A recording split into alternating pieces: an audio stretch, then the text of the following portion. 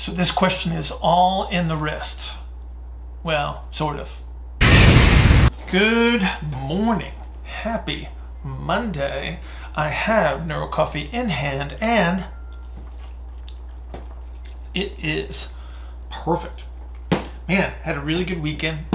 Looking forward to a solid week. Let's go ahead and just dive straight into the Q&A. This one comes from the Brain Physio.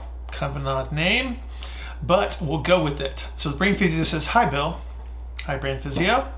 Uh, any chance you could speak about why some people get an ulnar styloid process sticking out when the forearm is in pronation? It seems like the carpals are supinated in relation to the radius. How would you relate this to your model? Best regards. So, ulnar styloid, okay, prominence there in brain physio, I think you are absolutely on point. I think what you are looking at is you're looking at, if we could just say, a hand that is supinated relative to the, the distal form. So, so primarily the radius where, where we've got that, that relationship. And so what we want to recognize is how do we know um, what we're really looking at? Because this is going to be um, an issue. Uh, if we can't identify the orientation, we're not going to know what we need to do to restore best movement options. And so what we want to recognize is that when we're talking about the, the internal rotation of, of, the system, so we've got we've got forearm pronation, the hand actually pronates uh, as well. And traditionally speaking, if we look at the the uh, ranges of motion of the wrist. Wrist extension and ulnar deviation would be associated with that internal rotation.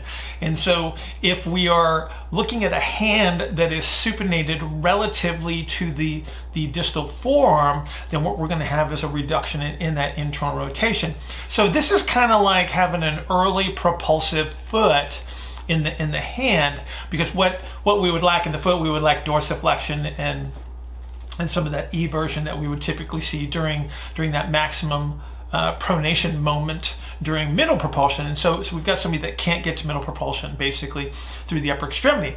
Now, how can we confirm this? Well, so I came up with a little test called the Apple test, and it has nothing to do with the fruit, it has everything to do with abductor pollicis longus, so APL, Apple test. And so the Apple test is basically executed as such. So pay attention. So we do the, the Boy Scout sign. So we oppose the, the thumb and the pinky. We're going to extend the wrist and then we're going to maximally ulnar deviate. Now, as I break opposition, if I can pick up more exten extension and, and ulnar deviation, then I know I've got a concentrically oriented APL. And so that would be indicative of a hand that is actually supinated relative to, to the wrist. Now, if it was a negative test, what would happen is I would have already maxed out my extension and my ulnar deviation. There would be no change when I break the opposition. So then you know you've got a hand that is actually uh, capable of pronation.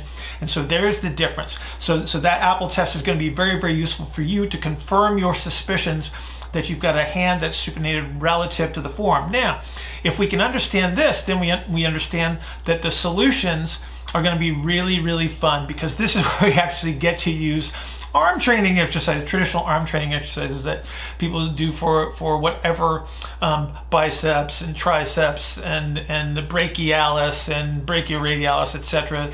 So go back to 1985, pick up your Flex magazine and look at the latest arm training article, and what you'll see is a lot of solutions for for your your shoulder, elbow, and wrist problems. So what we want to understand though is when we're looking for these solutions um, is that the shoulder is pretty easy to identify. Our traditional shoulder ER and IR measures are very, very useful in the circumstance to know where our starting position is in regards to the, the uh, thorax and, and the shoulder girdle. Elbow position can get a little hairy because the long bones can actually twist and that creates some, some um, ER and IR differences proximal and, and distal. The thing I want you to keep in mind here, brain physio, is that um, when we're talking about end range elbow flexion, so that is an ER position, so that's your inhaled position. So I need dorsal rostral expansion, I need ER at the shoulder, and I need supination at the forearm, at the wrist to get that full end range elbow flexion. For elbow extension, it's the opposing strategies. Obviously, it's going to be an up pump handle, it's going to be internal rotation, it's going to be maximum uh, pronation through the, the forearm and, and through the hand. So again, you get to pick your arm exercises. You just have to be able to identify where you are in space. And so, so using your confirming test at the wrist is going to help you identify the wrist. If you know where the shoulder is, the elbow can be the, the resolution of, of those two. Now, um, if you see something that looks like elbow hyperextension, don't make the assumption is that you've got a, an appropriate orientation and this is just an exaggeration. What you actually do have here is a twist. So you actually have supination at the proximal elbow that is creating this scenario. So under these circumstances, um, you're going to have to use some form of, of elbow extension activity in pronation to resolve it. So it's going to look something like that. So keep that in mind when you're looking at, at the elbow orientation relative to the wrist. You can still use your confirming Apple test to identify whether you've got a hand that can, that can pronate or whether it's supinated. And then you make your solutions from there. So Brain Physio, I hope that answers your question. If it doesn't, please go to askbillhartman at gmail.com, askbillhartman at gmail.com, and I will see you guys tomorrow.